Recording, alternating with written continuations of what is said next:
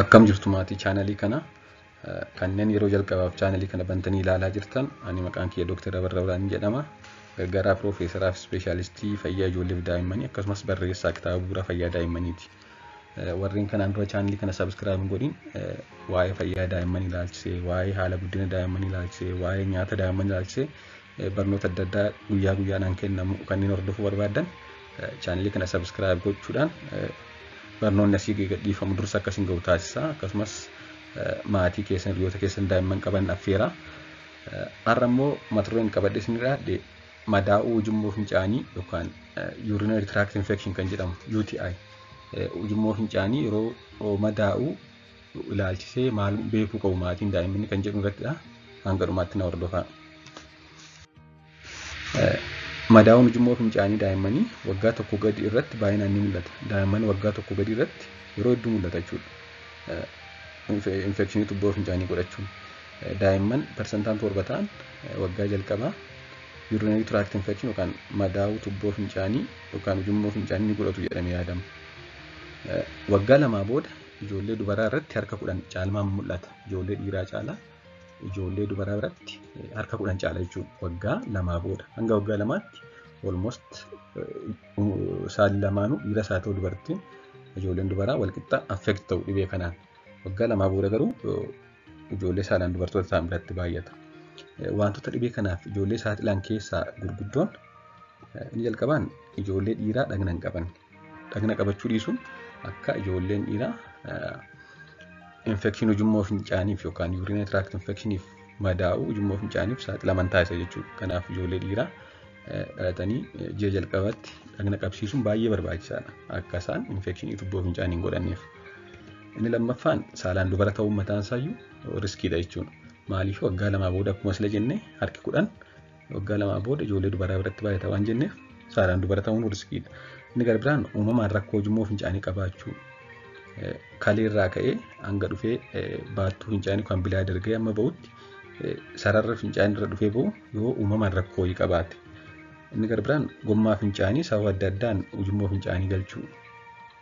Daa'imman tariitii dhibee adda addaaf yoo hospitaala ciisanii ta'e yoo tajaajilli baqaqsanii yaaluu isaaniif kennameera ta'e tariitii yoo gommaan fincaanii yookaan tubboon fincaanii gommaan galee karaa tubboo sana fincaanii yeroo ta'e tubboon sun galuun yookaan gommaan sun galuun akka daa'imman infekshinii tubboo fincaanii godhatan taasisa jechuudha. Akkasumas gogiinsa garaa daa'imman constipation qaban daa'imman dhibee gogiinsa garaa qaban akka isaan infekshinii tubboo fincaanii godhatan taasisa jechuudha. Inni gara biraan uffata keessaa dhiphaa uffachuu daayippariis haa ta'uu uffata adda addaa daa'imman uffatan yookaan namni kamillee uffata keessaa dhiphaa yoo uffate uffata surree jalatti uffatamu uffata dhiphaa yoo uffatan akka infekshinii tubboo fincaanii godhatan taasisa jechuudha. Inni gara biraan harmaadhaan waliin guddachuu. Harmaadhaan waliin guddachuun akka daa'imman infekshinii adda addaaf saaxilaman taasisa. Isaan keessaa tokko infekshinii tubboo fincaaniidha jechuudha. Inni gara biraan fincaan yeroo dheeraaf qabatanii turuu. Kun yeroo hedduu ani inni mul'atu daa'imman mana barumsaa seenan birattidha. Daa'imman yeroo jalqabaaf mana barumsaa seenan tariitii haala mana fincaanii achii waliin wal baruu dhabuu sababa adda addaan fincaan turfannaan fincaan turfame kun immoo akka inni infekshinii godhatu akka inni infekshinii tubboo fincaanii godhatu taasisa jechuudha. Kanaaf fincaan turfachuun riskii gara biraadha. Inni kaan cirrachi ujummoo fincaanii keessa jiraachuu. Cirrachi ujummoo fincaanii keessa jiraannaan akka fincaan akka garaa hin baane ta'a. Akka fincaan akka garaa hin baane taanaan immoo akka inni kuufamee ture infekshinii godhatu taasisa jechuudha. Inni gara biraaf inni yeroo hedduu mul'atu hawaasa keenya biratti daa'imman erga bobbaa bobba'anii booda erga bobbaa isaanii erga kaakkaa isaanii baasanii booda waayippariinis haa ta'u wanta ittiin naannoo isaan kaakkaa godhan irraa qulqulleessinu fuulduraa gara boodaatti haqu. Fuulduraa gara boodaatti haquun akka daa'imman infekshinii tubboo fincaanii godhatan taasisa jechuudha. Kanaaf kan ta'uu qabu booda gara fuulduraatti haquun riskiidha. Haa ta'u malee fuulduraa gara boodaatti haquun baay'ee barbaachisaadha jechuudha.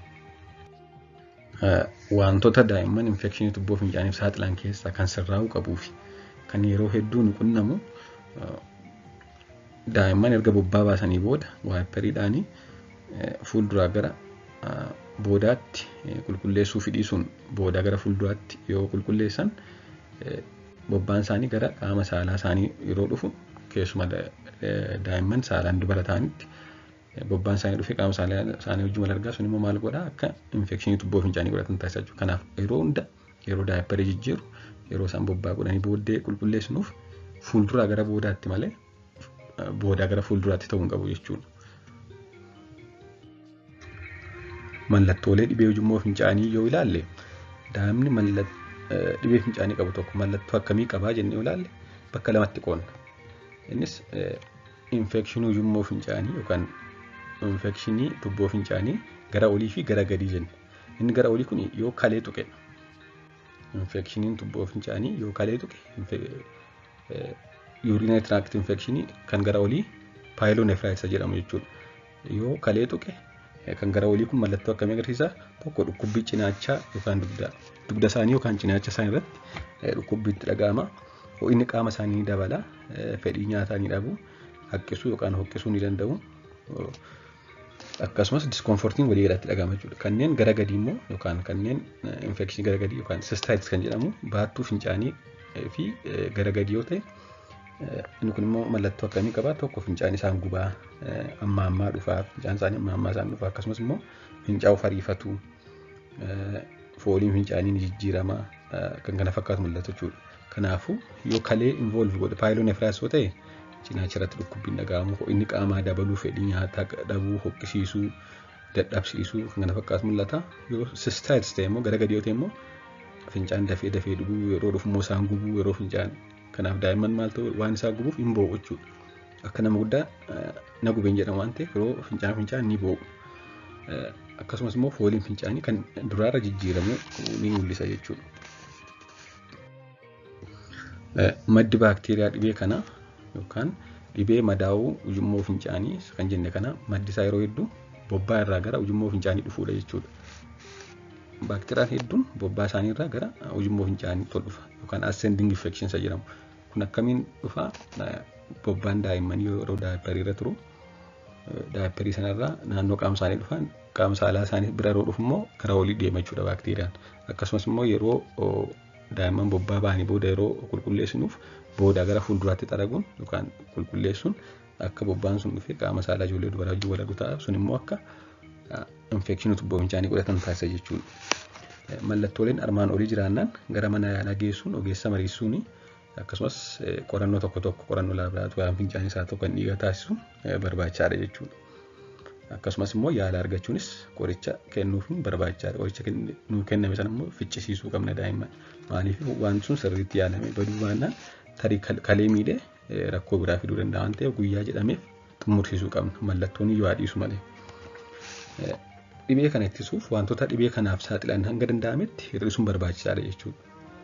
Maaltu dhibee kanaaf saaxilaa? Tokko akkuma duratti jenne ijoollee dhiiraa kittaansisuu dhabu yookaan naanna qabachiisuu dhabu.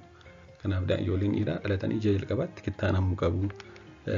Inni lammaffaan daa'imman harma hoosisuudha. Harma hoosisuun baay'ee barbaachisaadha. Sadaffaan fincaan tursiifachuu dhiisuu qabu daa'imman. Yeroo fincaan isaanii isaan dhufe dafanii deemanii fincaa'uu qabu. Mana barumsaas yoo ta'e kana mijeessuu qabna jechuudha. Daa'imman mana barumsaa galaniifis yoo fincaan dhufe akkan tursiifanne itti himuun barbaachisaadha. Inni sadaffaan yeroo bobbaa ba'anii booda yeroo waayipperiidhaan naannoo bobbaa ba'an sana qulqulleessuun boodaa gara fuulduraatti osoo hin ta'in fuuldura gara boodaatti haxaa'uun barbaachisaadha jechuudha. Akkasumas immoo kanneen kana fakkaatan kanneen akka riskiitti keenya kanneen akka wantoota akka daa'imman infekshinii ujummoo fincaanii godhataniif saaxilan ta'a jenne sana adda baasanii sirreessuun baay'ee barbaachisaadha jechuudha. Hedduu galatoomaa sabiskiraabii fi laayikii gochuun dagatinaa galatoomaa.